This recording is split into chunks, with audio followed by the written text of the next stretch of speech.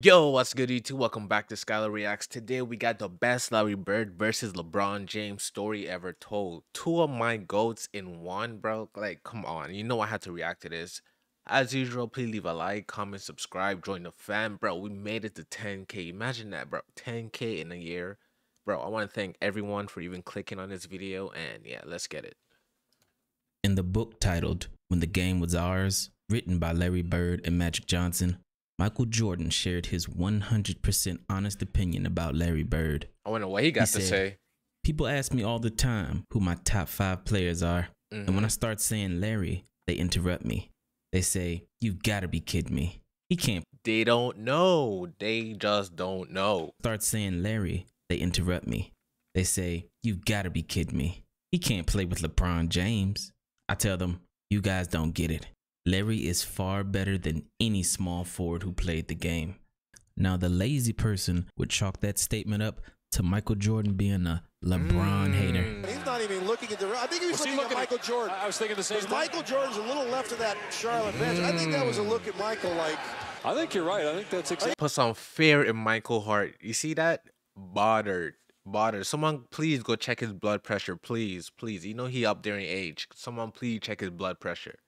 Right looking. at him. But not too long ago, this was common knowledge. If you give me both these guys and you say you can start your team with either Larry Bird or LeBron James, Oh, you taking I'm taking Larry Bird No, and I'm not. taking my chances. No, Thank you very not. much. You know why? Larry Yes. Bird was the baddest son of a gun on the planet And what in a league with Magic Johnson, mm-hmm. Isaiah oh, Thomas, Oh, so Dr. you J. me- He was the best player in the world when the NBA And was at a, LeBron's with a the best greater player level. in the world. It ain't the same NBA. This, this, this sucker won three oh. straight MVPs. Let me ask you this. But I understand his point, but don't get it messed up.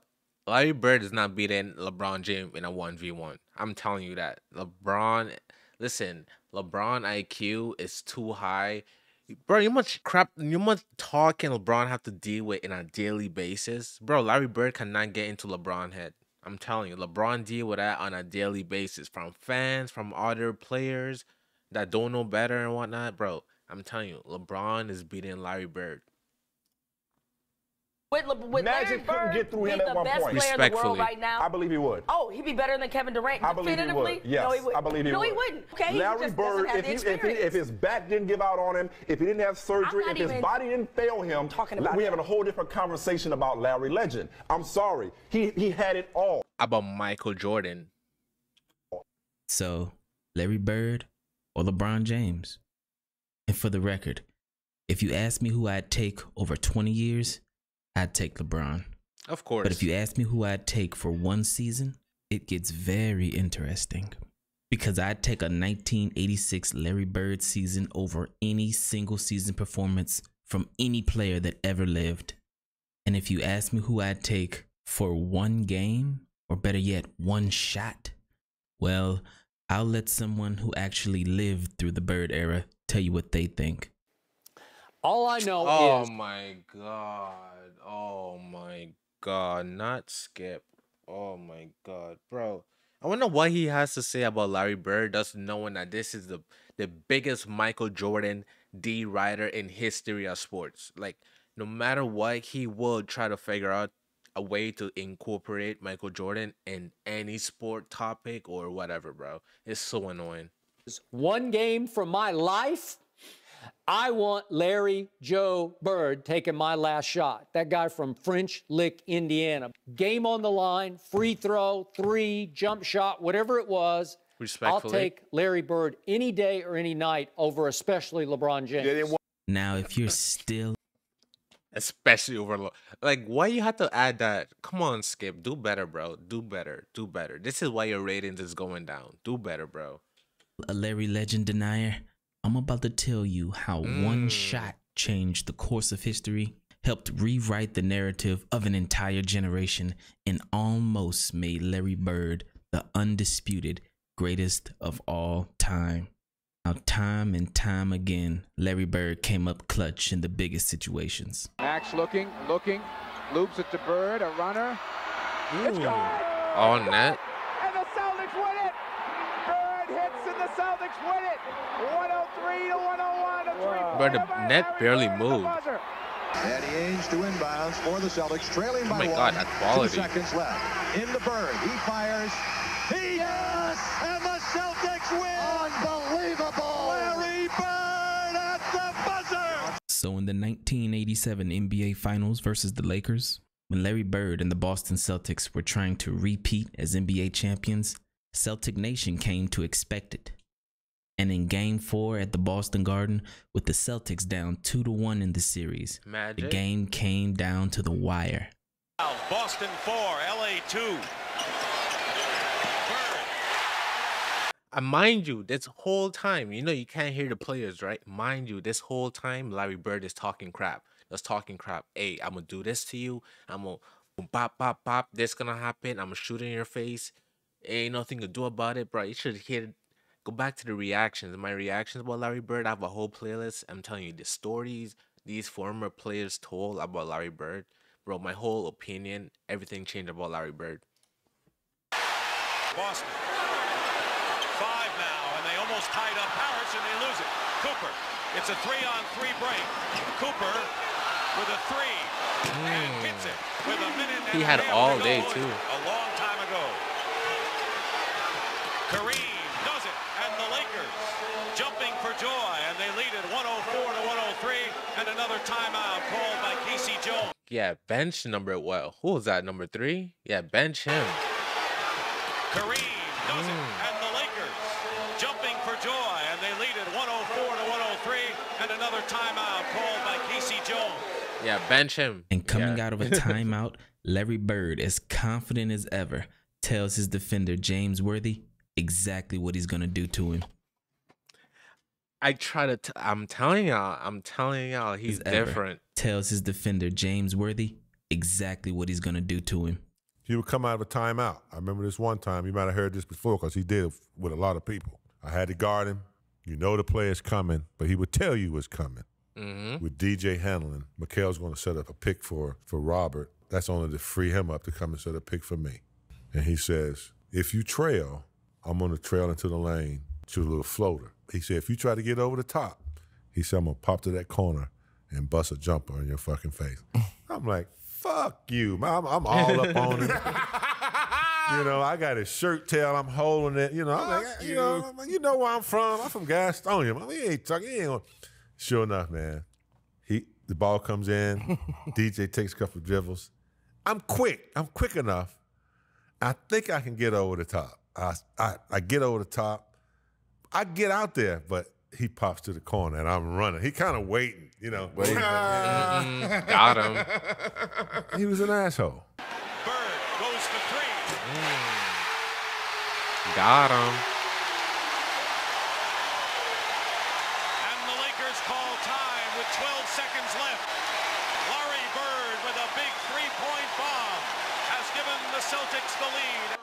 With the Celtics up by two, Kareem comes down and gets fouled with eight seconds left. He makes the first Mm, light work. and misses the second. Oh, come on. And it's Lakers ball with seven seconds to go. One Celtic rebound could have sealed this game, but the ball goes out of bounds and the Lakers get the possession. And with seven seconds to go, the Lakers still had life. Just three years earlier, in the 1984 finals versus the Celtics, Magic Johnson choked in a similar situation, earning the nickname Tragic Johnson. But this time, he was ready. Wow, that's what I came from? Tragic Johnson. My man switched. Nah, that's to crazy. Kareem and Kevin McHale jumped out to me. Uh, as soon as I saw Kevin, I said, "Oh, I'm taking him." You know, Magic puts it on the floor, a couple head and shoulder fakes, and he raised up in the air, and there was nobody that was going to get that shot. Mm. Light work. Down by one, with two seconds on the clock, Larry Bird and the Celtics find themselves in a situation they've been in many times before. Johnson on the inbound. Bird fires it. Freeze. What do you think happened?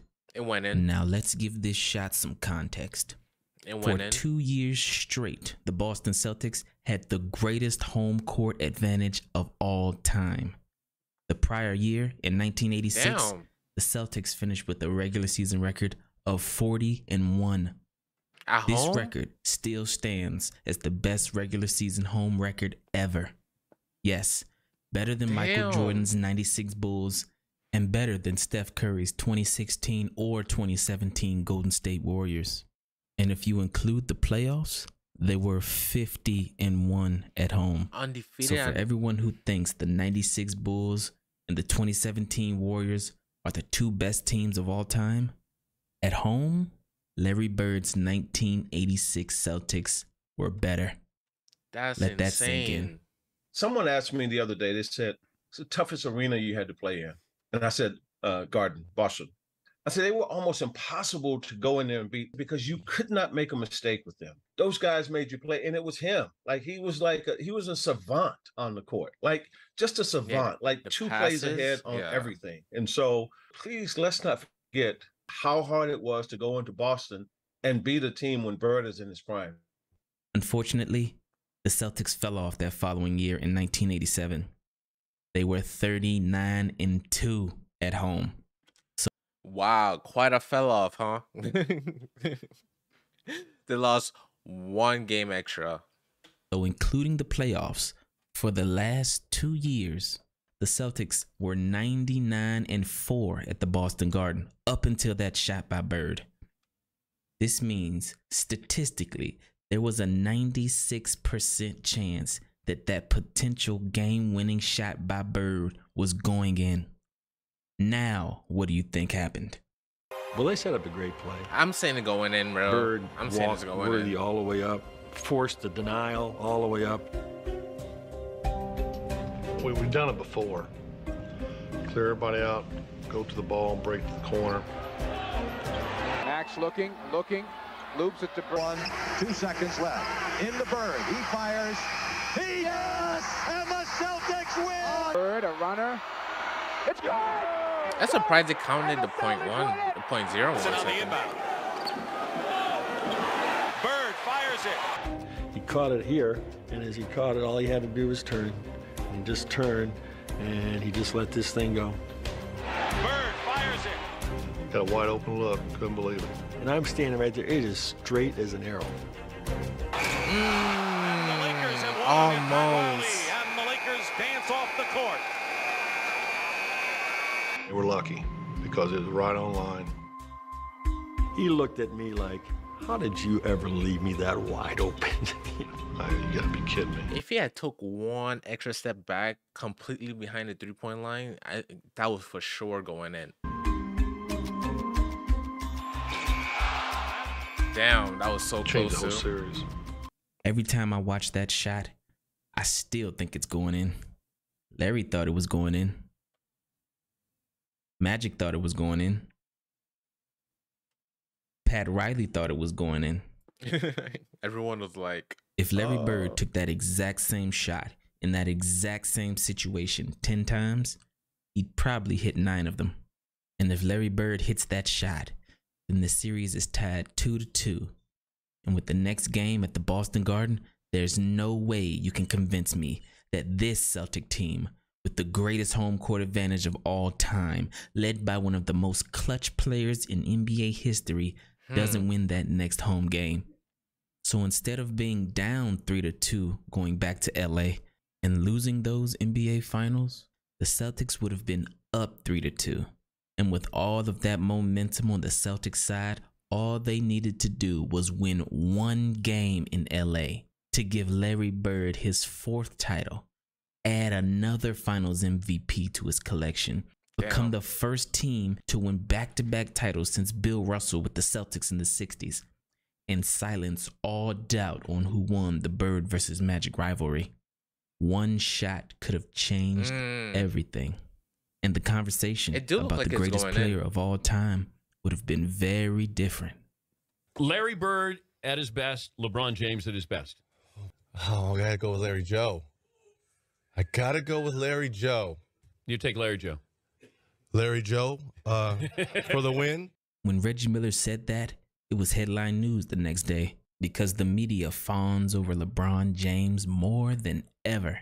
yeah, because I, mm, I don't know. I would love to see LeBron play back in that era though. Like when things are more physical. Cause people think like, oh, LeBron's a crybaby, he's too soft. Oh, those guys will run over him and this and that. Like you have to remember, LeBron is mostly muscle. This man is 250 to 260, 100 pounds, all right? And he's, say, what, 6'9, 6'10, 6'9? That's not a small human being, bro. This man is muscular, bro. Like, you think you think Larry Bird gonna push him around? You think like these other players? No, he's gonna bully ball. Okay, it's more physical. But I would love to see it for myself though. But to many Larry Legend truthers, it wasn't a surprise at all. Skip, Reggie would take Bird over LeBron. Do you concur, my friend? I do concur. In a hypothetical draft, would I take him over LeBron James to start my my franchise? Yes, I would. And and I don't think it's even close. Now you would mm. think that Skip Bayless. Okay, not saying not even close is kind of crazy, Skip. The hate this man have for LeBron, I will never understand. As the ultimate contrarian, would be challenged by his co-host for such an opinion. However, this is one of the rare things that they 100% agreed on. You know, in terms of leadership, in terms of clutch, in terms of shooting ability, and overall championship credentials, not just trophies, but a mentality. Larry Bird gets the nod over LeBron James. I- I'm guessing that right now about 80% of our viewing audience does not agree with either one of us. Well, that, that all that means is that they don't know anybody. They don't know. I would love to pick LeBron, but in terms of clutch, money time, there's no there's no contest. He's not even in Larry Bird's class. All Not even close. It's not even close. I would love to see If the you like stats, here's Larry Bird versus LeBron James season stats, while both are at the age of 30. Larry Bird averages more points, more rebounds, more assists, and has a higher field goal percentage. So when Nice. someone asks you, what is Larry Bird better at than LeBron? You can say pretty much everything. Hold on, is he ahead of Larry Bird? No. No. What was Bird okay, better okay, at? okay, okay, okay. At this point, at this point, just pure hatred. What do you mean he's not ahead of Larry Bird? So 20, 20, what, 20 years, 21 years in the NBA and he's not ahead? He's not the number one scorer. He's not number four in assists. Like, he, like, bro, what? He's, LeBron is literally 40K, 10K, 11K. He's, his whole career is a triple double, bro. Like, come on. Bird's a better shooter. It's not close. Uh, I think Bird is as, Okay, as we- good we- or we- better as a passer, a much more fluid, much more uh, natural passer than LeBron James, a creative passer. LeBron James, for a superstar, he's as good a passer as anyone outside of maybe Magic and Bird. Bird was a better passer. Do Bird's know- a better rebounder. The fact is that Larry Bird didn't stay healthy, and the fact is that basketball is played so differently Okay. now. When it comes down to the end of a game in a championship series, I would rather have Larry Bird have the basketball. Well, duh. Is there any way on earth you would take LeBron James over Larry Bird in the clutch? There's no way on earth that I'd pick him over Larry Bird in the clutch. I can tell you that much. Larry Bird was not just a superior shooter from anywhere on the court, just like you highlighted. Not only was he a near 90% shooter from the free throw line, which Mm. LeBron could never brag about. But when you talk about money time, whether it's a particular juncture in the season where you're trying to position yourself for the playoffs, or you're talking about the last minutes of a game, or you're talking about the last shot in a game, or you're talking about a game seven, or you're talking about anything that that indicates clutch, you simply can't pick LeBron. I also have to remember too, like these interviews and whatnot is super old, so it's not like up to date, like all his accomplishments now. So I have to keep that in mind as well. I just like thought about that. over Larry Bird because you can pick almost no one in NBA history over Larry Bird. When it was money time, you knew where the ball was going. And you also knew there was little to nothing that you could do about it. It was just a matter of whether or not Larry Bird was going to make it or miss it. But even despite all of those numbers, to those who actually saw Larry Bird play, the eye test is all they need. I know there are other numbers that will support you on LeBron. I may lose this, but you know what? I'm going with these, all four of them. And I watched that dude dominate an era that has some of the greatest Bird. players of all time playing. I- this isn't a diss on LeBron. Hmm. I'm not dissing LeBron. I love LeBron. We both love LeBron. Everybody appreciates how great he was. But as time passes, it's easy to forget how great Larry Bird was. No, I. So all of that said, right here, right now, Larry Bird remains the greatest small forward ever, period. End of story.